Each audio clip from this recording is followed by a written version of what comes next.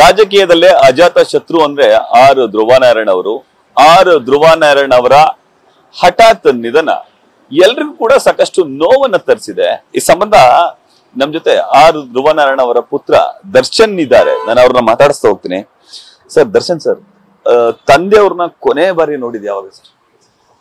Sir, ತಂದೆಯವರು Friday ಅಂದ್ರೆ ಇವತ್ತಿಗೆ ಒನ್ ವೀಕ್ ವೀಕ್ ಆಗ ಒನ್ ವೀಕ್ ಆಗೇ ಹೋಯ್ತು ಸರ್, ತಂದೆ ಕಳ್ಕೊಂಡು ವೀಕ್ ಫ್ರೈಡೇ ಬೆಳಿಗ್ಗೆ ನಾನು ಕೋರ್ಟಿಗೆ ರೆಡಿಯಾಗಿ ಕೂತಿದ್ದೆ. ತಂದೆಯವರು ಎಂಟೂವರೆಗೆ ಅವರು ಕ್ಷೇತ್ರಕ್ಕೆ ಪ್ರವಾಸ ಮಾಡ್ಕೊಂಡಿದ್ರು. ಅವರು ಓಡ್ತಾ ಇದ್ರು ಆ ಟೈಮಲ್ಲಿ ಟೈಮಲ್ಲಿ ನನಗೊಂದು ರೆಸ್ಪಾನ್ಸಿಬಿಲಿಟಿನ ಕೊಟ್ಟಿದ್ರು.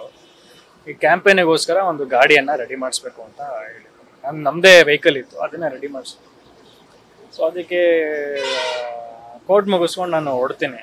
ರೆಡಿ ಮಾಡಿಸೋದಕ್ಕೆ ಬೆಂಗಳೂರಿಗೆ ಅಂತ ಹೇಳಿದ್ದು ಅಷ್ಟೇ ಸರ್ ಬೆಳಿಗ್ಗೆ ಅವರು ಆಯಿತು ಬೇಗ ಮಾಡಿಸ್ಬಿಡು ಅಂತ ಹೇಳಿ ಹೊರಟ್ರು. ನಾನು ಸಂಜೆ ಕೋರ್ಟ್ ಮುಗಿಸ್ಕೊಂಡು ಸೀದಾ ಬೆಂಗಳೂರಿಗೆ ಹೋದೆ. ಬೆಂಗಳೂರಲ್ಲಿ ಇದ್ದು ಬೆಳಿಗ್ಗೆ ನಾನು ಗಾಡಿನ ಬಿಟ್ಟು ವಾಪಸ್ ಬರಬೇಕಿತ್ತು ಮೈಸೂರಿಗೆ. ನಿಮ್ ಯಾವಾಗ ಈ ವಿಚಾರ ಗೊತ್ತಾಯ್ತು ಸರ್? ಆ ಕ್ಷಣಕ್ಕೆ ಎಷ್ಟು ನೋವಾಗಿರುತ್ತೆ?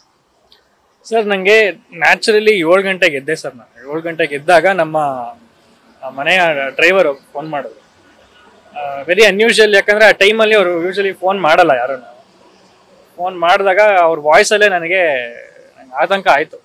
ಭಯ ಆಯಿತು ನನಗೆ ಬಟ್ ನನಗಿದ್ದಿದ್ದು ಇವಾಗ ಎಮರ್ಜೆನ್ಸಿ ಸಿಚುವೇಶನು ಮತ್ತು ಬೆಂಗಳೂರಿಂದ ಮೈಸೂರಿಗೆ ಗಾಡಿ ಓಡಿಸ್ಕೊಂಡು ಬರಬೇಕು. ಏನಾಗುತ್ತೋ ಏನೋ ಅನ್ನೋದು ಟೂ ಅವರ್ಸ್ ಜರ್ನಿಯಲ್ಲಿ ಸರ್ ನನಗೆ ಭಯ, ಭಯದಲ್ಲೇ ಬಂದೆ ನಾನು. ಅಂದರೆ ನನಗಿನ್ನೂ ಹೋಪ್ ಇತ್ತು.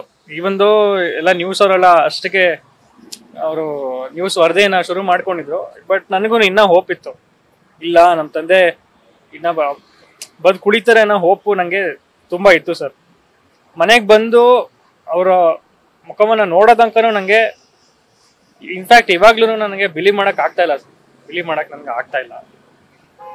ಇನ್ನೂ ಎಲ್ಲೋ ಇದ್ದಾರೆ ಇನ್ನೂ ಎಲ್ಲೋ ಒಂದು, ಒಂದೆರಡು ವಾರ ಟೂರ್ ಹೋಗಿದ್ದಾರೆ ಬರ್ತಾರೆ ಅನ್ನೋದೇ ನನಗೆ ನ್ಯೂಸ್ ಫಸ್ಟ್ new